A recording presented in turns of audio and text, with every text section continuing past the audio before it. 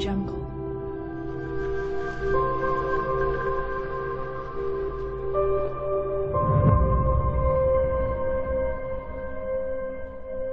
Audio Jungle.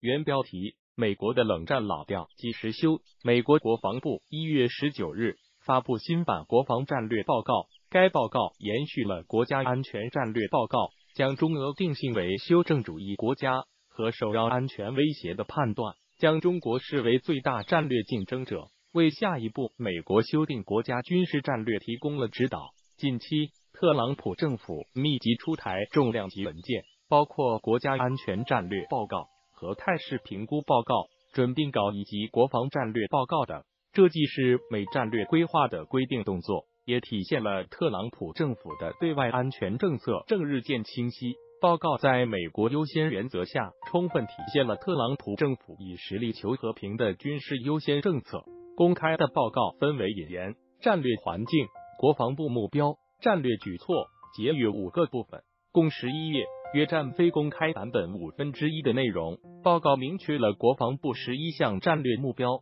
和三大战略举措。目标包括保卫美国本土免受攻击，在全球和关键地区维持联合部队的军事优势，设置对手侵犯美国的关键利益，使美国的跨部门合作伙伴能够促进美国的影响力和利益，在印太、欧洲。中东和西半球保持有利的地区权力平衡，保护盟国免遭军事侵略，支持伙伴不受胁迫，并公平分担共同防御责任，劝阻、预防或设置对手国家和非国家行为体获取、扩散或者使用大规模杀伤性武器，防止恐怖分子直接或支持其他行为体。向美国本土及公民、盟国和海外伙伴发动袭击，确保国际公寓的开放和自由，变革国防部思维、文化和管理体系，不断提高创造业绩的速度和效益，建立二十一世纪国家安全创新基础，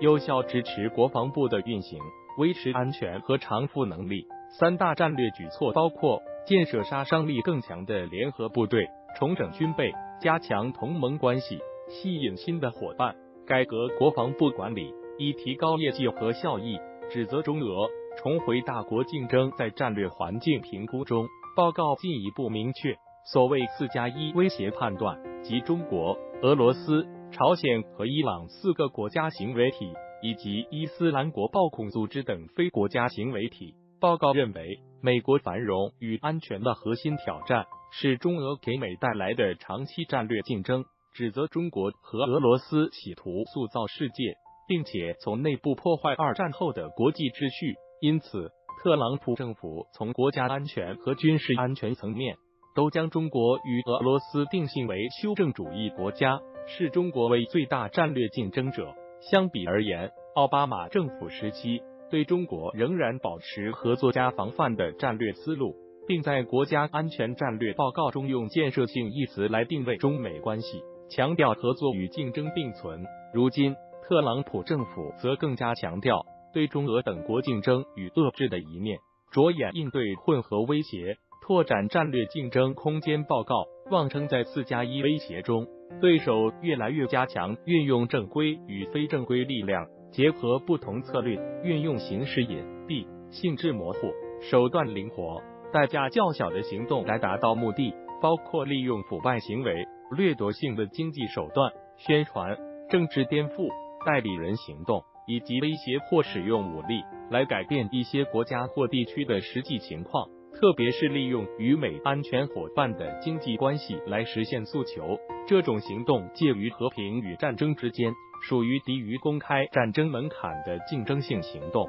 使美更难以应对。报告同时指出，技术的快速发展及扩散。将给对手提供更低的准入门槛。这些新技术包括先进的计算技术、大数据分析、人工智能、自主技术、机器人、定向能、高超声速和生物技术等。为维护竞争优势，美提出要强化竞争意识，不仅要在战时赢得胜利，更要注重在平时利用自身的优势，掌握主动，给对手形成压力，以扩大美战略竞争空间，巩固同盟关系。将印太作为国防战略重点。二零一五年，美在亚太地区海上安全战略中有过印太这一提法。此次特朗普政府正式将印太纳入国家安全战略和国防战略，提出要将印太地区盟友伙伴发展成为一个安全网络，以设置侵略、维护稳定、确保全球公域的自由进入权。目前，美正积极推动美日澳印形成四边安全网，从亚太拓展到印太。以期在更大范围、更大空间筹划战略布局。报告还提出，要加强跨大西洋的北约同盟，以设置俄罗斯的冒险行为，在中东地区建立持久联盟，打击恐怖分子，抵消伊朗的力量，确保能源通道安全，保持在西半球的优势，维护西半球的和平稳定，以减少美本土威胁，发展伙伴关系，以应对非洲的恐怖主义威胁等。扩军备战，建设更具杀伤力的联合部队。报告指出，美国军事优势在每一个战备领域——空、陆、海、太空和网络空间被侵蚀，并且正在继续被侵蚀。美国防部长马蒂斯说：“我们不能指望运用昨天的武器装备，在明天的冲突中赢取胜利。”报告围绕应对国家间大规模高端常规战争，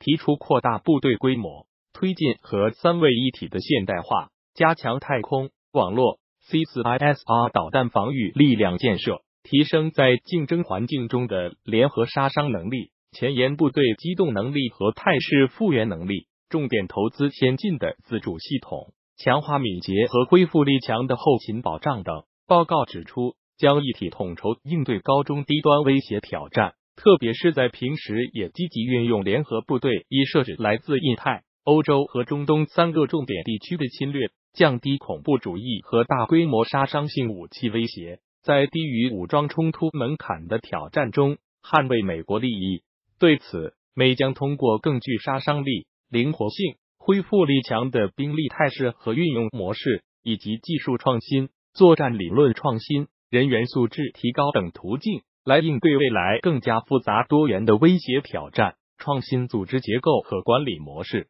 提升国防管理效益。美认为，当前美国防部各级领导不愿承担责任的官僚主义作风，严重影响了工作效率，甚至美军的战斗力。提出要吸收商业革新思想，树立一种重业绩的管理文化。报告要求各军种部长、国防部各机构领导加强组织结构重塑和体制机制优化，敢于承担风险，精简相关审批程序。提高对军事需求的反应速度，削减冗余机构和人员，并提升财务管理效率，优化装备从研发到列装的方式，依托国家安全创新基础计划，联合国内外企业加快发展关键前沿技术，以维持美军技术优势。美国防战略的调整，一方面是着眼抵消中俄不断上升的军事实力，特别是中国的快速发展。从而确保美长期的全球领导地位。另一方面，特朗普的军事优先政策